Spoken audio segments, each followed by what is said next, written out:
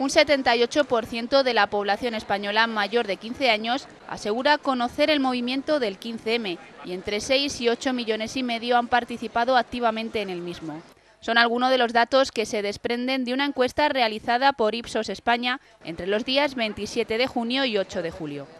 El estudio, que pretende cuantificar la importancia del movimiento así como el modo y la intensidad de su participación, indica que casi el 40% de los ciudadanos creen que el cauce adecuado para conseguir sus reivindicaciones sería acudir a las elecciones como partido político y no presionar con manifestaciones en las calles, frente al 30% que no lo ve así.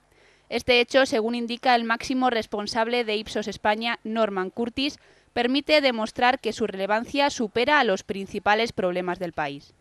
Pero, sin embargo, el movimiento 15M es, eh, es considerado tanto más importante que, por ejemplo, eh, el la victoria del Partido Popular en las elecciones del 22 de mayo o incluso el rescate financiero de países como Grecia o como Portugal. Por ello, el 15M como movimiento no tiene pensado desaparecer, pese a que dos de cada diez personas creen que este grupo altera el orden democrático. Es un movimiento que no, mm, no va a desaparecer fácilmente, que son demandas que cuanto más eh, puedan ser incorporadas en los programas políticos, más, eh, más relevancia van a tener y en cualquier caso siempre va a haber eh, un colectivo que va a estar presente mm, en la sociedad española con este tipo de, de demandas ¿no? o de reivindicaciones.